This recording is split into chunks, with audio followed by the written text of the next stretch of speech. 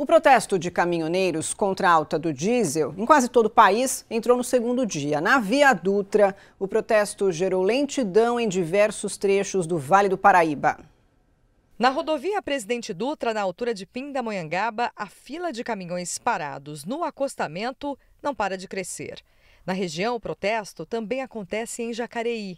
A categoria reivindica a redução de impostos que incidem sobre o óleo diesel, combustível mais usado no país. Tá absurdo um negócio desse. Onde é que vai parar isso aí? Quem que aguenta? Ninguém vai aguentar.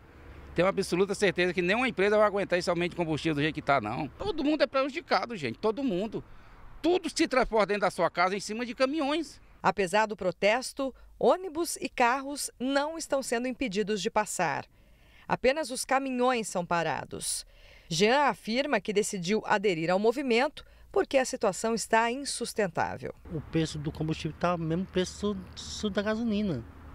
Só que um, que um, que um carro hoje faz oito. Um, um, um, carro básico hoje faz oito, mas litro o caminhão faz dois e meio.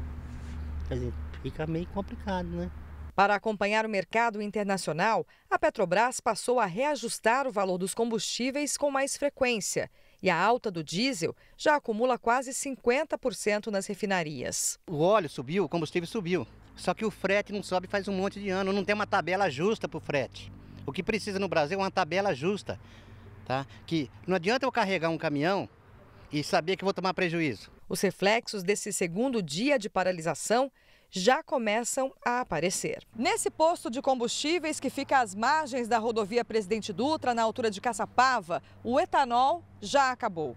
O caminhão que iria abastecer as bombas está parado na estrada e não há previsão de quando a situação será normalizada. Também não há prazo para a greve acabar. Ainda no Vale do Paraíba, a rodovia Carvalho Pinto, outra via de acesso que liga a região a São Paulo, foi bloqueada nesta tarde por caminhoneiros. Os manifestantes ocupam o acostamento e a faixa da direita nos dois sentidos da rodovia, na altura do quilômetro 126, em Taubaté. De acordo com a Polícia Rodoviária Estadual, o trânsito no momento está normalizado, mas no fim da tarde chegou a registrar dois quilômetros de lentidão.